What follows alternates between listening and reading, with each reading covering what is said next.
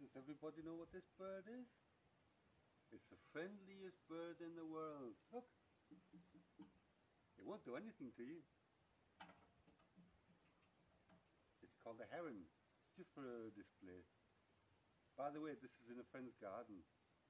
All.